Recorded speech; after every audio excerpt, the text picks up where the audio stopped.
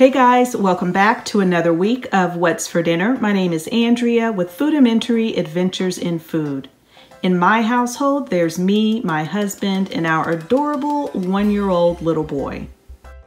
Hey guys, so we are having tacos for dinner tonight. So let me show you what I'm using. I am using these Ortega Fiesta Flats, something I used to use um, all the time and then I stopped and then I got them on a grocery haul and that is Harrison. Um, but I like these because they're flat bottom. So let me show you what they look like. They come in a package just like that and um, it's easier to fill them. You don't have to worry about your taco just kind of falling over. So you do need to heat them up in the oven just like a regular taco shell in order to get them crispy. So having that and then I experimented with some Mexican rice.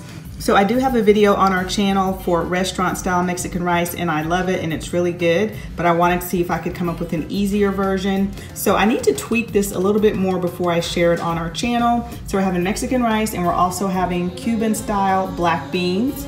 And this is from Trader Joe's and I doctored it up with a little bit of seasoned um, garlic salt and Sazon.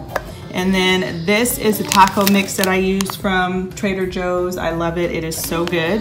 And then this is Howard's plate.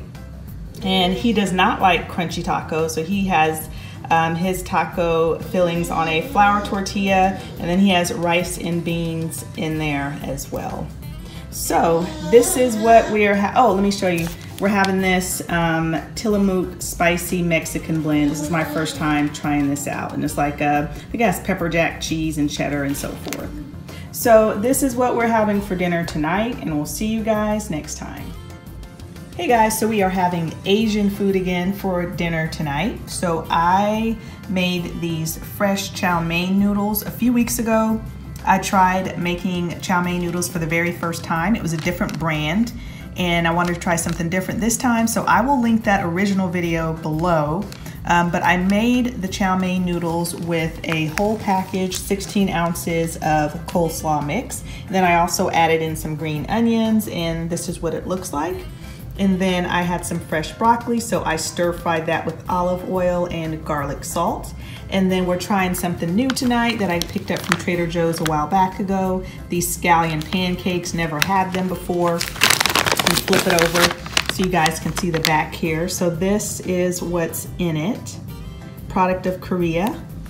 And then here are the heating instructions. So I will say I did not read the instructions before I started cooking it. Didn't realize that these needed to defrost first. So I did let mine sit out on my countertop for about 45 minutes.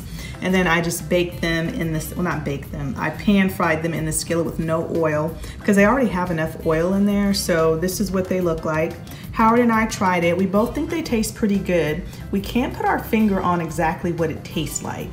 Um, it's not savory, like salty or anything, but you can definitely taste the onions and things in there. And there's also mushrooms in there, carrots as well. So it is pretty tasty. So this is what we're having for dinner tonight, and we'll see you guys next time. Hey guys, I am trying out a new recipe today. It is called crock pot chicken with bacon gravy, and I'll make sure to leave the recipe in the description box. But in my crock pot, I have a pound and a half of chicken breast, and I just sprinkled on some garlic powder and onion powder. I'm gonna season the other side real quick. I'm not gonna add any additional salt because Howard and I try to watch our salt intake Plus, I think this recipe is gonna have enough salt in it already. So I'm just getting that other side. And then the recipe says to use some chopped garlic. So I'm just gonna sprinkle some chopped garlic on top of that.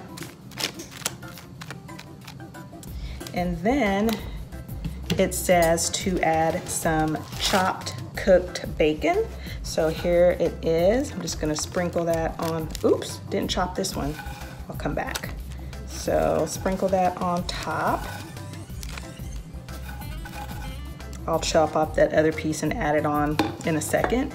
And then it says to add chicken gravy. So it says two package, two packages of dry chicken gravy, but this one package is the equivalent of two. So I'm just using that. I've already got it mixed up and added water to it, but it doesn't call for the full amount of water that would normally be used to make this gravy. And then you're just gonna pour that on top and then it says cook it on high for about three hours or until it's done. And I typically tend to cook things on low, so that's what I'm gonna do.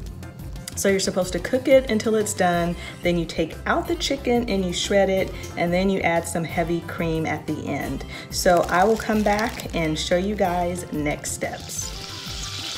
Hey guys, so while my chicken is cooking in the crock pot, I thought I would show you how I make my frozen green beans taste fresh and homemade. So in my pot here, I have some bacon, probably about three slices of bacon that I chopped up, and then I had some extra bacon fat um, that I just kept and I added that in as well. To that, I'm gonna add about a half a cup of onions. These are frozen.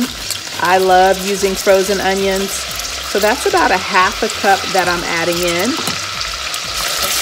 And I'm just going to let this cook down a little bit. And then I will show you what comes next. And these are the onions that I'm using. Okay, so my onions and bacon, as you can see, have cooked down. And so now, just going to add in my frozen green beans.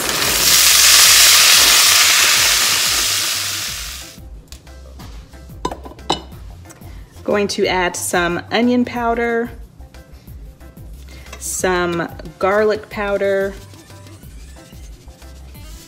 and some seasoned salt. I'm gonna start off adding just a little bit and I can always come back and add a little bit later. But I have um, added water just up to the green beans and I am just going to cover this pot and right now my burner is on low. I'm just gonna cover this and I'm just gonna let these cook down. All right, just pulled this chicken out of the crock pot. It cooked for about four and a half hours on low. And all I'm doing right now is just shredding it. And then after it's completely shredded, I'm going to add in some heavy whipping cream and then just let it um, just cook for a little bit longer, I don't know, maybe 10 minutes or so. Okay, so here is the finished dish. And I'm serving the chicken over just some plain jasmine rice. There are the green beans. So let me show you the chicken in the crock pot. So it doesn't make a lot of gravy. If you'll remember, I didn't use very much water, so there's not a lot of gravy in here. It does have a good flavor. I don't taste the bacon much, and the bacon I thought was gonna get really soggy, and there's a piece right there, but it really doesn't get that soggy. It does have a good flavor. It's definitely very savory, and I'm glad I didn't add any more um, salt to it because it's salty enough for sure. And then here are the green beans. Um, they are not mushy at all. After they came to a boil, I let them cook for about two hours on low. I ended up adding some more seasoned salt and I also added some chicken bouillon to it too, just to give it some more flavor. So anyway, this is what we are having for dinner tonight and we'll see you guys next time. Hey guys, so we are having a quick and easy dinner tonight. I made some fish sticks from Trader Joe's, made them in my air fryer, and then I made some canned corn. I just put butter, salt, and pepper in there. And then we are just having some good old Kraft macaroni and cheese. And if you heard that noise in the background, that's Harrison's toy. But here is the mac and cheese, and then here are the fish sticks from Trader Joe's. Howard and I, I've mentioned this before, we're not huge fish people, but we both like these uh, fish sticks. So anyway, this is what we are having for dinner tonight, and we'll see you guys next time. Hey guys, so for dinner tonight, Howard and I tried a new Chinese restaurant. He went and picked it up for us. So um, I actually tried a new dish for me, period, and it's called Beef Chow Fun. and it has beef, um, noodles, and a couple different types of onions and bean sprouts. Howard is trying something new too, and his is called Mei Mei chicken. And I'm not sure if the chicken is deep fried or stir fried, but you can see all types of vegetables. And then I got hot and sour soup, and it unfortunately did not come with crunchy noodles. And then um, Howard got, let me see, let me look at the receipt here. He got, uh, I think it's called cha su bun. And so um, he loves this kind of stuff. And then he also got some fried rice as a side. To me, this fried rice looks a little overcooked. I don't like mine real puffy like that. And then I got one of their vegetable egg rolls. So this is what we're having for dinner tonight and we'll see you guys next time.